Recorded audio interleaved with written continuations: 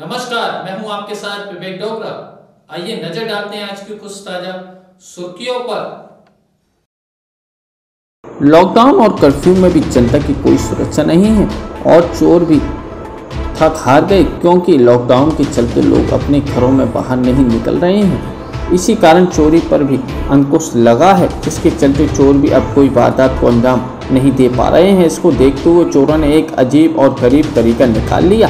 चोरों ने करीब लॉकडाउन और कर्फ्यू का फ़ायदा उठाते हुए लॉकडाउन में आधा दर्जन मकानों के बाहर से कुंडी लगाकर बाहर खड़ी फोर व्हीलर गाड़ियों के पेट्रोल की टंकी के पाइप काटकर पेट्रोल चुरा ले गए। वारदात वहाँ एक मकान में लगे सीसीटीवी कैमरे में कैद हो गई, जिसके चलते कॉलोनी वासियों में रोष व्याप्त है। लोगों ने पुलिस को सूचना दे दी है और पुलिस जाँच में जुटी है। धोसा के हाउसिंग बोर्ड सेक्टर नंबर तीन में राजेंद्र कुमार वर्मा ने बताया कि कॉलोनी में सभी गाड़ियाँ घरों के बाहर खड़ी रहती हैं। जब सुबह लोग जागते हैं तो मकान के बाहर से कुंडी लगी मिली, जिसे कुंडी खुलवाने के लिए पड़ोसी को सूचना दी। तो मालूम हुआ कि पड़ोसी भी कुंडी लगी हुई है।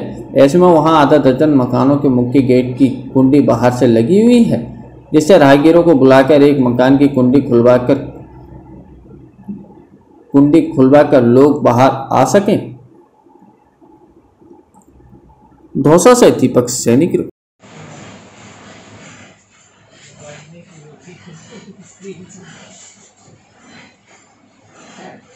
इसी में ले लो आप सही आ रहा, बढ़िया आ रहा है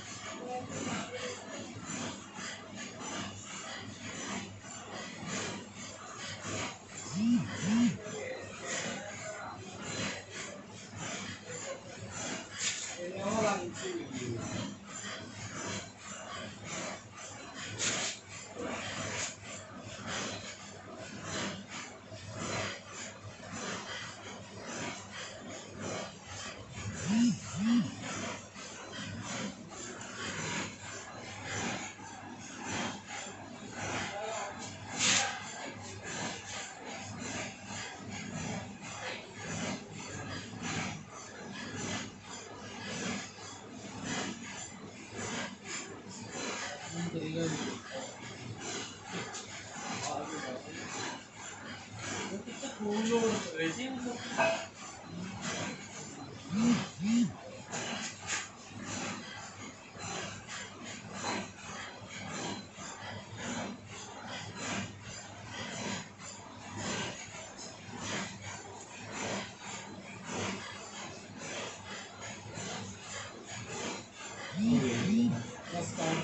क्या मामला था, सर? ये गुप्तेश्वर रोड हाउसिंग बोर्ड के पास का मामला था। सूचना मिली थी कंट्रोल के मार्फत कि भाई कोई गाड़ी खड़ी थी रात्रि को बाहर उनमें से कोई अज्ञात व्यक्ति ने उसका टंकी का पाइप काट के उसका पेट्रोल चुराने का चुराया है। इस संबंध में सूचना मिली थी जिसमें उसको भेजा गया था प्रेमलता सब इंस्पेक्टर को। वहाँ पर तो पाइप कटा हुआ था। तो उनकी सीसीटीवी भी एक मकान पर लगे हुए थे, लेकिन उन्हें साफ़ नज़र नहीं आ रहा है।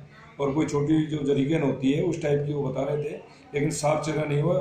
पहचाना नहीं जा रहा फिर भी उनकी सीसीटीवी फुटेज के आधार पर उनको वो करेंगे हो गया आप क्या सर ये हम जब रात्रि को जब सोए थे तो सुबह हम जब जगे तो हमारे घरों की बाहर की कुंदियाँ लगी हुई थी। और जब हमने आस पड़ोस से ये पूछताछ की तो पता चला हमें लगा किसी ने मज़ाक किया हुआ है। जब वास्तविकता पे हमने देखा तो एक घर नहीं कम से कम दर्जन भर जितने भी हमारे घर थे उन सभी घरों की कॉलोनी के सभी घरों की कुंदियाँ लगी हुई थी। जब हमने गाड़ियों के पास से जाके देखा तो पेट्रोल की बदबू आ रही थी और जब हमने एक दूसरे की गाड़ियों को चेक किया तो बाद में पता चला कि कारों में से पेट्रोल बिल्कुल भी नहीं था। साथ में जो कार का जो पेट्रोल जो पाइप था, उसको पूरी तरीके से काट के कम से भी कम छः गाड़ियों का पेट्रोल चुरा के पैंतीस से चालीस लीटर पेट्रोल हमारे यहाँ चुरा कर ले गए। और इसकी सूचना हमने कोतवाली पुलिस थाने को भी दी है। इस तरीके की धारा एक सौ चौवालीस के तहत इस तरह की घटनाएँ हो रही हैं तो पूरे कॉलोनी में व्याप्त हो रखा है। आज कार में चोरी हुई है, कल को इस तरीके से घरों में चोरी हो जाएगी। तो थोड़ा सा कॉलोनी में भय है और इस तरीके से धारा एक के तहत वार्ड नंबर 12 ये आता है और ये सेक्टर तीन हाउसिंग बोर्ड की ये घटना है। कितनी गाड़ियों में से हुआ है छह गाड़ियों में सर। सर आपका नाम? मेरा नाम राजेंद्र कुमार